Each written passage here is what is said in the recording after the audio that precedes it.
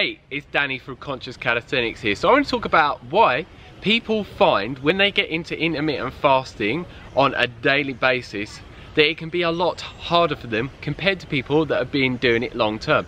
And when I'm saying harder, just finding that they get hungry a lot easier and they just find it quite more difficult to actually fast for the length that they want to with their daily intermittent fasting. And there are a few different reasons for this. So for example, if you're eating three meals a day, your body is used to eating around the times that you eat and the amount of times that you eat within a day.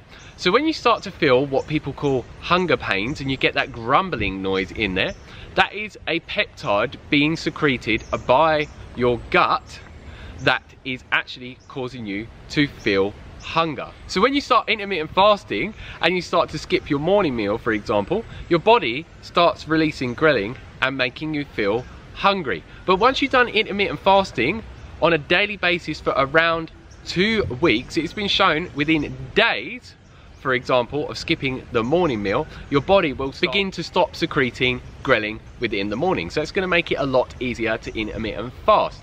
And alongside that, there's another hormone that comes from your fat cells known as leptin.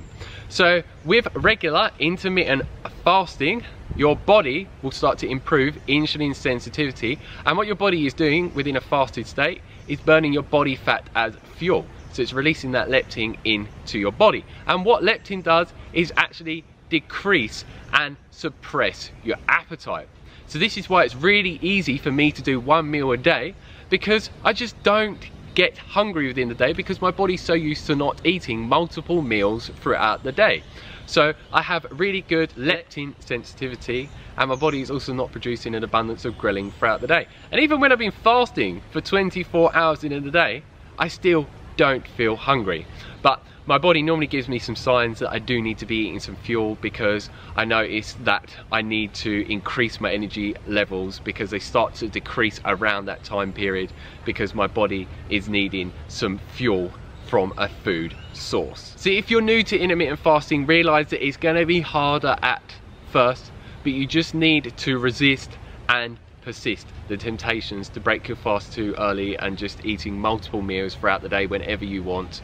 Because yeah if you're someone that actually wants to achieve intermittent fasting consistently long term to get the greatest benefits such as increasing your human growth hormones in females by around 1300% daily and in men by about 2000% and testosterone levels in females by around 130% and in men by about 200 to 400% and this is all shown through scientific research and it also improves insulin sensitivity and drops insulin as well which is key for reducing your body fat percentage. You have really low body fat percentage while preserving muscle mass and increasing your muscle mass at the same time and giving you a whole host of amazing health benefits mentally and physically. So I'm going to give you a quick few tips to make it easier for you especially when you're new to intermittent fasting.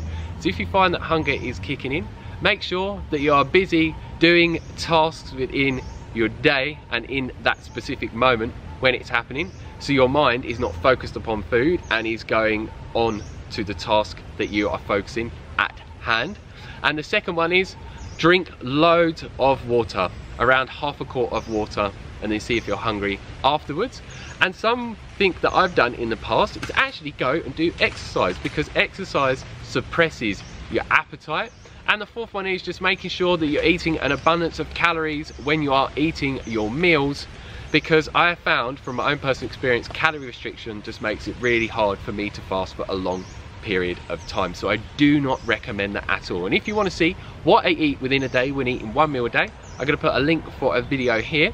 And if you're someone that is eating two meals in a day I'm going to show you what I eat in a day when I've done intermittent fasting in the past with two meals a day. And I put the link for the video here. And make sure when you're doing intermittent fasting that you're avoiding specific drinks because if you're drinking specific liquids that have quite a lot of calories in it will break you out of that fasted state. And I had someone on my channel ask me recently can I consume juice whilst intermittent fasting? And I said absolutely not. That will break you out of a fasted state. And if you don't know which drinks are accepted I'm going to put a link for a video where I talk about that more in depth. And a quick tip that I will give you alongside all this and this go And a quick tip that I'll give you in relation to liquids is drink some sparkling water. I've recommended this to people before in the past and it really seems to be the best liquid for suppressing someone's appetite. So yeah, that is it for this video. If you have any questions, leave them down below as always and I'll get back to you as soon as possible. If you like the video, like it down below, give us a thumbs up and please share this video with anyone that you think needs to learn about what I've shared with you in relation to intermittent fasting and why it can be harder at first and what you can do to make it a lot easier for you to actually sustain it and do it long term. And if you haven't already, hit that subscribe button down below to receive a lot more intermittent fasting videos from me on a regular basis, one meal a day videos, what I eat in a day, calisthenics videos showing you specific workouts and giving you tips and many other different things to help you go in the direction of getting the energy levels that you wish to sustain and maintain and achieve the body that you desire with a low body fat percentage whilst increasing your muscle mass at the same time so you can achieve your dream body like I have managed to.